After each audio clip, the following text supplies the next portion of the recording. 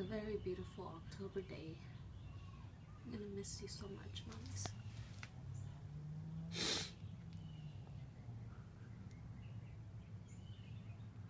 Love you.